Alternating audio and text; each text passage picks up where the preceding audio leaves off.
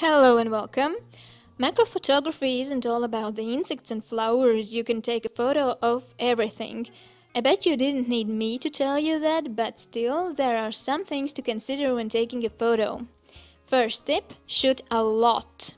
Microphotography isn't very easy, the subject can easily get out of the focus, so make sure to have really many photos, so later you have the option to choose the best one.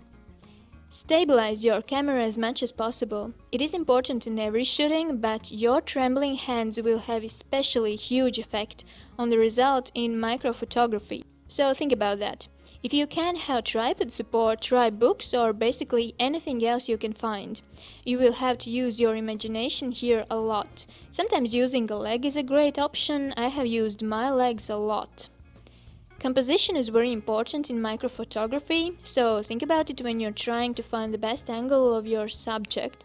Rules of third apply here as well, so try that. Think about the background.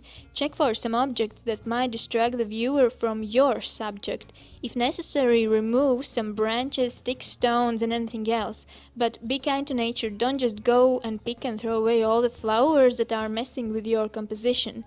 You can simply bend them for a while.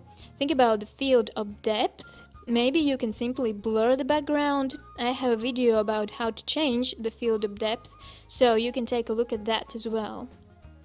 Try different perspectives, for example, try top-down perspective or maybe get in the same level as your subject. Change angles and look what works the best for your subject.